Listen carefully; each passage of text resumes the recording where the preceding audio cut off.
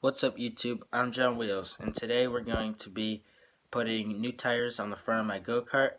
We're going to be going from a 13 inch to a 15 inch. Alright, so here's our original tire. It's just a Harbor Freight cheap little wheelbarrow tire. Worked well, but it was um, super low to the ground. It's 13 inches tall.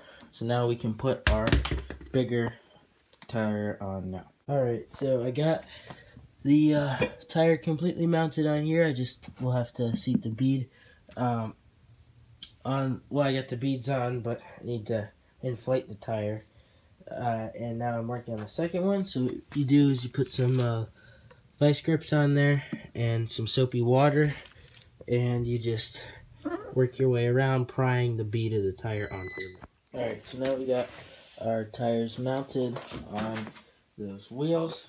Uh, it works, but the uh, only problem is right here at full steering, this rubs just the slightest bit, but it really doesn't affect anything at all. So all you do is just turn that much, and you really don't need that much steering anyways.